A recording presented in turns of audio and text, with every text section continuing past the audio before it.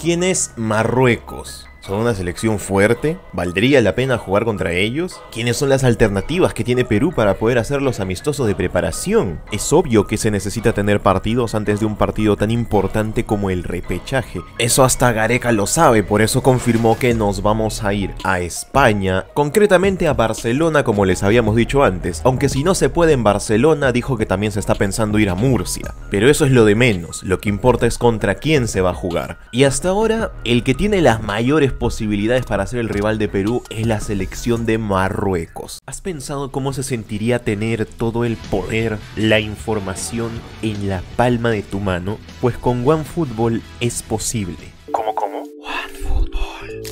Y es que si lo tuyo es seguir la información de tus equipos y ligas favoritas, para que la aplicación te avise incluso cuando pase algo importante y no te pierdas de nada, lo único que tienes que hacer es bajarte OneFootball. Es totalmente gratis y nuestro link de descarga gratuito está abajo en la primera línea de la descripción. Puedes tenerlo tanto en dispositivos Android como en iOS. Se habla también de Irán, de Arabia Saudita, y Gareca no negó, recuerden que se tienen que jugar dos partidos a que también se pueda jugar contra una selección que esté participando en el repechaje por esas mismas fechas, selección que seguramente también se estará preparando por ahí. Aquí tenemos alternativas como Costa Rica, Nueva Zelanda, Ucrania, Escocia, Gales, que no han jugado su repechaje porque la selección ucraniana no es que ahora mismo pueda salir a jugar muchos partidos, y los han aplazado. Porque Gareca lo que quiere es que Perú no juegue con una selección cualquiera, tiene que ser sí o sí o mundialista,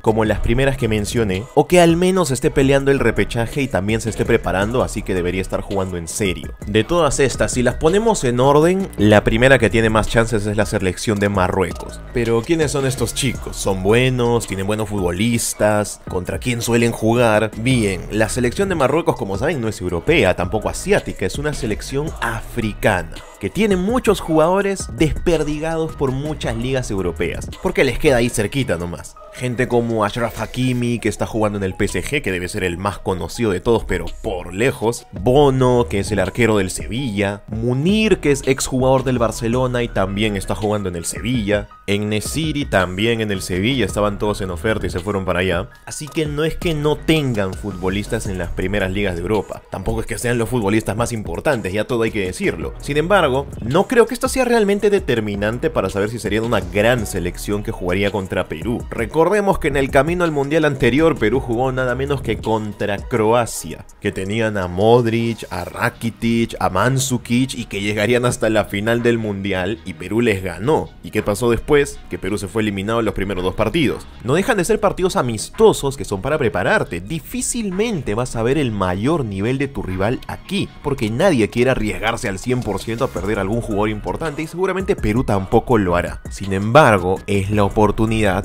para poder empezar a agarrar ritmo de juego, porque ya habrán pasado más de dos meses desde la última vez que Perú jugó junto. Y dirán que no es mucho tiempo, pero se siente. Y la selección de Marruecos, diciéndolo todo, es una selección en África que están acostumbrados a jugar contra equipos que en buena parte son muy inferiores a ellos. Por ejemplo, el último partido que Marruecos jugó fue contra la República Democrática del Congo y ganaron 4 a 1 casi sin despeinarse y metiendo 5 cambios al segundo tiempo. Aunque en la Copa Africana de Naciones no pasaron de los cuartos de final porque los eliminó Egipto. Pero eso es porque a partir de aquí ya te encuentras equipos mucho más fuertes como Senegal, Camerún o el propio Egipto. Se va haciendo más difícil. No podríamos considerar a Marruecos de las selecciones más poderosas de África, pero sí es una selección que si tú la pusieras, por ejemplo, a jugar en Asia, le iría tremendamente mejor. Solamente contarles que el año pasado Marruecos jugó contra nada menos que Arabia Saudita, probablemente la selección asiática más poderosa del momento, y ganó Marruecos. Arabia Saudita, ya saben, es otra de las alternativas que Perú está viendo por ahí para jugar algún amistoso. Podríamos considerar que Marruecos es más fuerte que ellos y por eso estamos prefiriendo buscar a Marruecos y tener a Arabia Saudita como segunda opción. Además recordando que Arabia Saudita es de una eliminatoria donde también jugaron los equipos que van a estar en el repechaje como Emiratos Árabes y Australia. Por lo cual, si bien sabemos que el fútbol no es matemática ni 2 más 2, podríamos decir que Emiratos Árabes y Australia son inferiores a Arabia Saudita y que Arabia Saudita no es realmente superior a Marruecos, que es la rival que estamos buscando para el amistoso. Esto no es una regla absoluta absoluta que dice que si le ganamos a Marruecos entonces le podemos ganar fácilmente a cualquiera de los demás, pero te hace entender por qué Perú está buscando una selección como Marruecos, o en su defecto con Arabia Saudita o Irán, que son precisamente las selecciones punteras de cada grupo que había en la eliminatoria asiática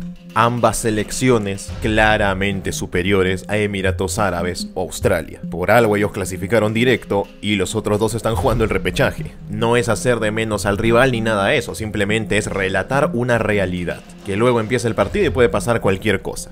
Marruecos como selección es un equipo que en los últimos partidos que tuvieron, por ejemplo, salieron a jugar con una línea de tres centrales, lo cual creo que es bastante normal porque tienen a un lateral derecho como Hakimi, que es más que un lateral derecho, es un carrilero de banda, un jugador totalmente ofensivo, formado en el Real Madrid, por algo está jugando en el PSG, es de los mejores que hay en el mundo para esa posición. Y Marruecos, como sabemos que es una selección que no tiene realmente estrellas mundiales, más allá de Hakimi, que tampoco es que sea de las estrellas más reconocidas, es una selección que se basa bastante en lo que son sus referentes. Aunque tampoco es que jueguen todos siempre al mismo tiempo. En el último partido, por ejemplo, Munir y Ennesiri ni siquiera entraron a jugar, se quedaron en la banca. No fueron ni necesarios para golear a la República Democrática del Congo. Lo cual nos demuestra un par de cosas. Primero, que Marruecos no es un equipo acostumbrado a jugar con selecciones que le compitan demasiado, más allá de la Copa de África. Luego de eso, es casi todo un camino de victorias contra selecciones muy débiles que hay en África.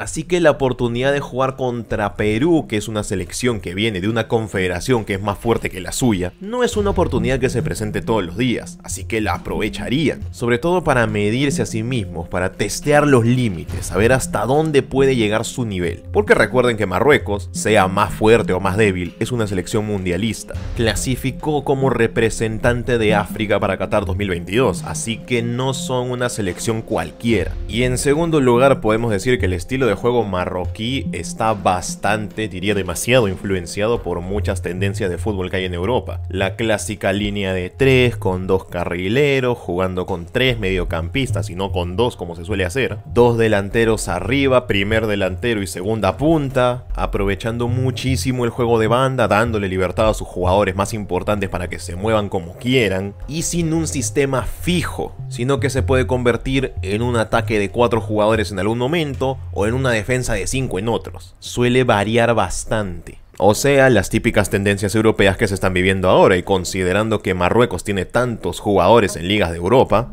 y que su entrenador Bahit Halil Hotzik es un bosnio que viene de entrenar en Francia, es normal que todo esto pase. Cuando la gente habla de selecciones africanas, suelen hablar de selecciones que tienen un físico envidiable, como Senegal. Pero en el caso de Marruecos creo que no es tanto así, precisamente por esto a veces les cuesta jugar contra los equipos africanos más fuertes. Claro que tienen un físico superior al de muchísimas otras selecciones, pero comparado con los africanos más fuertes, no están en ese rango. Aún con todo esto, yo los consideraría un rival bastante bueno lo que se busca es prepararse correctamente para un repechaje y considerando que no tendrían que ser los únicos, pero está buscando como saben dos partidos, el otro todavía no se sabe quién puede ser. Podría ser que salga el partido contra uno de los equipos españoles que se estaban viendo o contra algún club, e incluso si no saliera contra Marruecos y se terminara buscando a Arabia Saudita o a Irán, son selecciones que también son superiores a las que están en el repechaje asiático. Y creo que eso es lo mínimo que Perú tiene que buscar para sus amistosos de preparación. Sí o sí tienen que ser selecciones que sean superiores a Emiratos Árabes y Australia. De todas maneras, de nada te sirve prepararte contra una selección que es muy inferior a tus rivales posibles, porque solamente te vas a engañar. Necesitas equipos que no sean igual de fuertes que ellos, sino que sean más fuertes. Esa es la mejor manera de prepararte y de asegurarte que vas a llegar con el nivel de concentración e intensidad necesario para ganarles. Perú sabe que más allá del tema de jugar prácticamente como visitante, es el que tiene más responsabilidades para ganar el partido, porque viene de una confederación que es Conmebol, que es mucho más fuerte que la asiática. Y esta preparación que Gareca ya dijo que va a empezar el próximo mes, tiene que ir de la mano con la seriedad que esto requiere. Porque algo es muy cierto, nunca antes se había visto un repechaje como este. Las reglas del juego cambiaron y Perú será de los primeros en pasar por eso.